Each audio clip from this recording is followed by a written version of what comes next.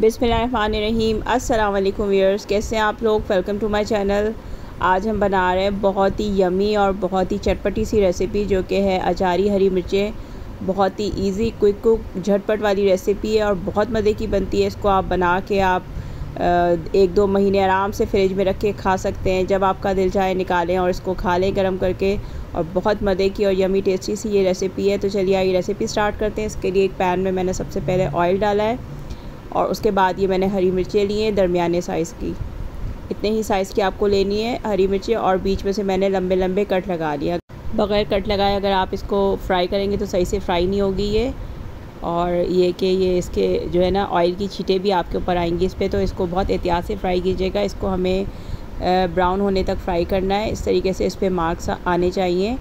ठीक है? इस तरीके से ये अच्छे से फ्राई हो गई है। इसके बाद थोड़ी सी ये सॉफ्ट भी हो जाएगी फ्राई होने के बाद।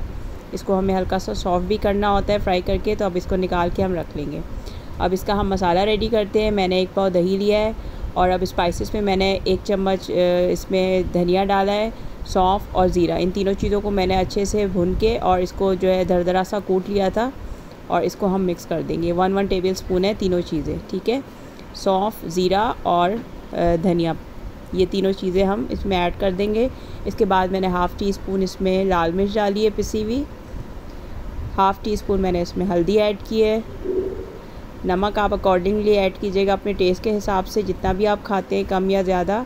और थोड़ा सा मैंने इसमें गरम मसाला ऐड किया ये सारी चीज़ें ऐड करने के बाद इसको हम अच्छे से मिक्स कर लेंगे और अच्छे से इसका ये जो मसाला है, दही वाला, ये रेडी हो जाएगा। ठीक है? अब इसको हमने मसाले को मिक्स करके अच्छे से और इसको रख लिया है।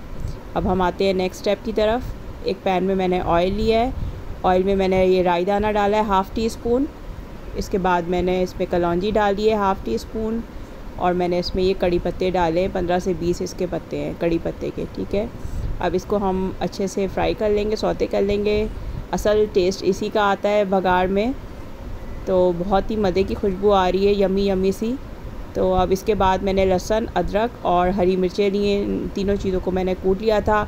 आप ये चीज़ें स्किप भी कर सकते हैं, लेकिन मैं जब भी बनाती हूँ तो मैं ये ज़रूर डालती हूँ। बहुत मज़े का लगता है, बहुत अच्छा टेस्ट आता है। इसके बाद इसको हम लाइट ब्राउन होने तक फ्राई कर लेंगे। अच्छे से ये मैंने फ्राई कर दिया इसको। ये देखें, लाइट ब्राउन हो गया है।